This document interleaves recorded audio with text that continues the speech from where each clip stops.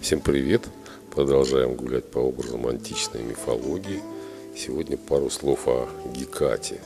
В греческой мифологии Геката – властительница неба, земли и подземного царства, потому часто изображалась трехликой – земля, подземное царство и небо.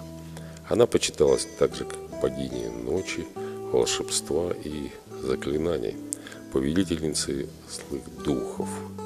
Геката связывает два мира – живой и мертвый. Ее можно считать подобием Артемиды, ночной охотницей. Она близка Диметре, которая олицетворяет землю, и Просифоне, богине подземного царства. В то же время эта сумрачная богиня помогает людям в их повседневных трудах, на охоте, в суде, в народном собрании, в деторождении и воспитании детей, в спортивных состязаниях и на войне. Есть предположение, что культ Гекаты существовал сначала у фракийцев и от них уже перешел к греков.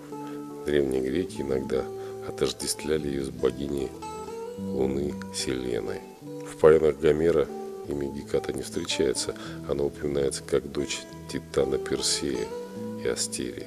Другие автор называют ее дочерью Зевса и Диметры или Зевстовой и Геры. Еще говорят, что она получила свою долю власти от титанов. Зевс оставил эту власть ей.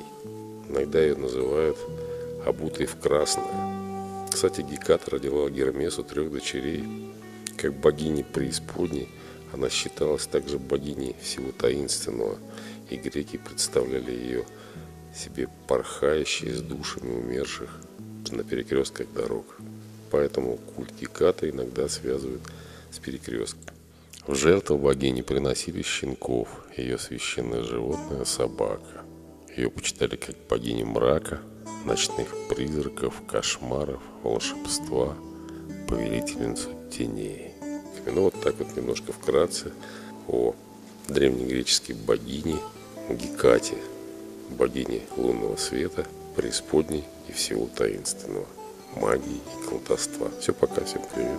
Посмотрите, пожалуйста, картины, которые я нашел по Гекате. Все, пока, пока, до свидания.